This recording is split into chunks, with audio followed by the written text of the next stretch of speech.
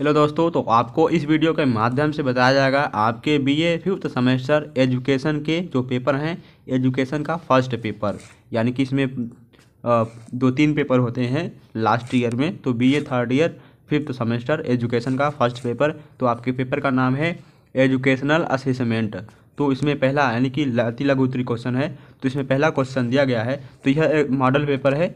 आपको एग्ज़ाम देने से पहले इन सभी मॉडल पेपर को तैयार कर लेना है। आपके पास यदि बुक होगा या सीरीज़ होगा तो उसमें इस, इन सभी छोटे छोटे टॉपिक को टिक कर लेना है। तो कोई क्वेश्चन आपको सीरीज़ में मिल जाएँगे, कोई क्वेश्चन आपको बुक में मिल जाएँगे। ठीक है? ये नहीं तो आप इन क्वेश्चन को गूगल पे सर्च करके आप उसका आंसर निकाल के नोट्स में बना के याद कर सकते हैं। ठीक है? तो चलिए क्वेश्चन को शुरू करते हैं। तो पहला क्वेश्चन दिया है, आकलन को परिभाषित करना है। अति लघुत्तरी में आपको पहला क्वेश्चन दिया है, आकलन को परिभाषित करना है। आकलन क्या है? उसे हमें परिभाषित करना है। अगला क्वेश्चन व्यक्तित्व क्या है? तो व्यक्तित्व क्या है? व्यक्तित्व के बारे में हमें बताना है, व्यक्तित्व क्या है। थर्ड नंबर क्वेश्चन मापन के दो स्तरों के नाम लिखना है हमें। क्या है? मापन के दो स्तरों के नाम लिखना है। आगे क्वेश्चन बुद्धि क्या है? बुद्धि के बारे में हमें बताना है, बुद्धि क्या है। तो नेक्स्ट क्वेश्चन व्यक्तिगत परीक्षण से आप क्या समझते हैं? इसके बारे में हमें समझाना है। व्यक्तिगत परीक्षण से हम क्या समझते हैं? इसके बारे में हमें आप बताना है। चलिए नेक्स्ट क्वेश्चन यानी कि खंड ब में हमें क्या दिया है? लघु उत्तरीय प्रश्न। यहाँ पर दिया है, मापन तथा मूल्यांकन में हमें क्या अंतर है? यानी कि मापन तथा मूल्यांकन में क्या अंतर है, उसके बारे में बताना है। नेक्स्ट क्वेश्चन क्या है?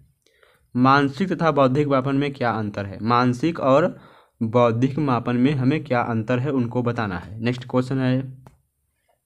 मानक क्या है, स्पष्ट करना। क्या है? मानक क्या है, स्पष्ट कीजिए। तो मानक क्या है, आपको स्पष्ट करना है, इसके बारे में बताना है।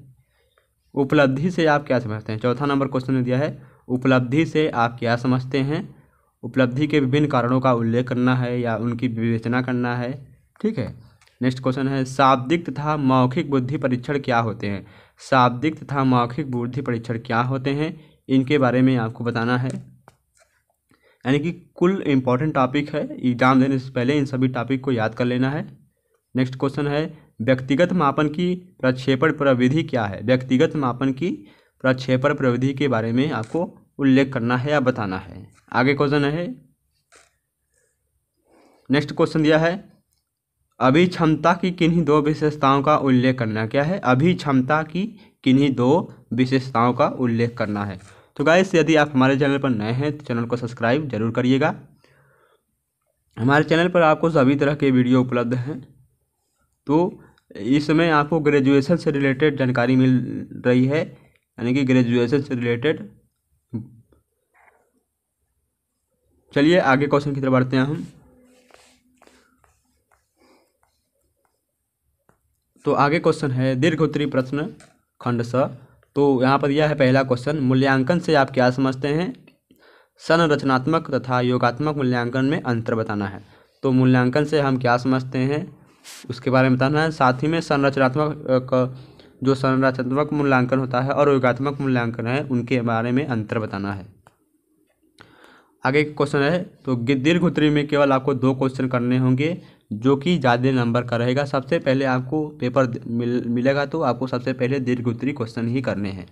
तो दूसरा क्वेश्चन है, मनोवैज्ञानिक परीक्षण को परिभाषित करते हुए एक उत्तम परीक्षण की कसौटियों का व्याख्यापन कीजिए। यानी कि मनोवैज्ञानिक जो परीक्षण है, उसको हमें परिभाषित करना है और एक उत्तम परीक्षण की कसौटियों का व्याख्या करना है।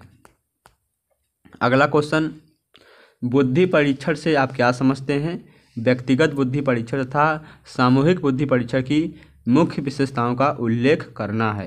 आप यानी क्वेश्चन नंबर तीसरा में दिया है। क्वेश्चन नंबर चौथा क्या है? दीर्घ का व्यक्तिगत क्या है? इसके प्रकारों का उल्लेख करते हुए व्यक्तित्व को प्रभावित सॉरी यहाँ पर दिया है। व्यक्तित्व क्या है?